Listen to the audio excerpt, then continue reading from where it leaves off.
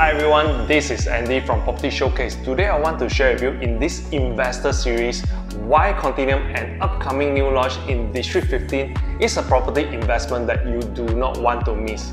Firstly, Continuum is a freehold property launching at the leasehold price, and the launching price is from 2005 plus PSF, a very safe entry price in this vicinity. You can look forward to high appreciation potential for this property Secondly, Amber Park, which is in the same neighborhood, is transacting its two bedroom for 2.08 mil to 2.1 mil, while Continuum is selling its two bedrooms starting at 1.6 mil.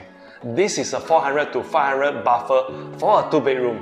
For its three bedroom, is selling at 2.3 mil, which is only 200,000 more than the two bedroom in Amber Park.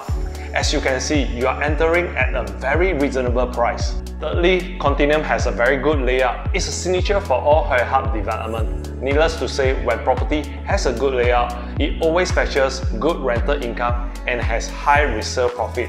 Again, you can expect high returns from this development. Lastly, developer price staging up strategy.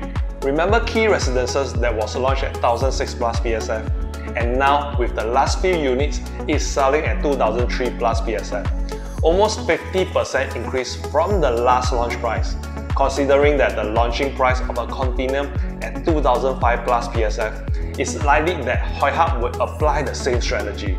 In summary, Continuum is a new launch not to be missed. With its attractive launch price, you are definitely in a very good position for capital gains.